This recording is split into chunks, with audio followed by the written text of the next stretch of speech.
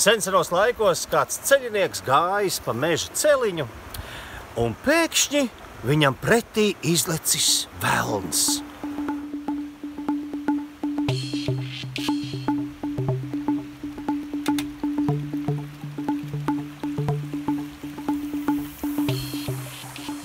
Paga, paga, paga, ceļinieki, ceļinieki, apstājies, nu taču parunāsim. Klausies, vai tu vari pateikt, cik man ir gadu? Ko? Man cik gadu? Ja tu man pateiksi, cik gadu, es tev došu trīs maisus ar zeltu. Ja. Bet, ja tu nepateiksi pareizi, nāksi pie manis par kalpu. Nu, pateiksi ko? Nu, hei, nu! Trīs maisi zelta? Oh, tā gan būtu laba dzīve. Mm, dzīvotu bez bēdu. Ceļnieks gribēja to zeltu, bet viņš nevarēja zināt, cik vēlnam gadu. Un tad viņam prātā ienāca laba doma.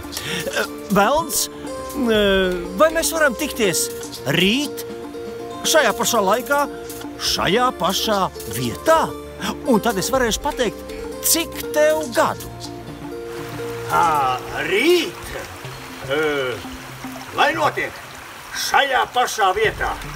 Vai nu tu nāks pie manis, vai es tev trīs maisus zelta. Tad līdz rītam!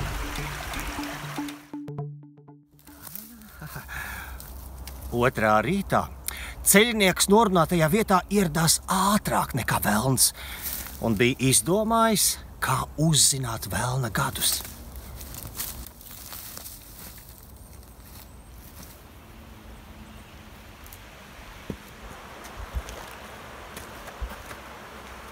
Nu, kur tad ir?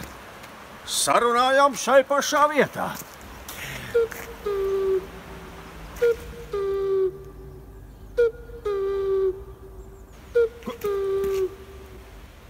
Dzēgudze? Ziemas laikā? Es esmu nodzīvojis 99 gadus. Nekad neesmu dzirdējis, ka dzēguze kūkotu ziemā. Oh, sveiks! Oh, Reku, tu esi ceļnieks. Nu, nu, vai var pateikt, cik man gadu? Jā, es šodien zinu. Tev ir 99 gadi. Jā, 99. Nu, labi, būs tev trīs maisi zelta. Un tā ceļinieks ar eh, velna doto naudu dzīvoja cepuri kuldams.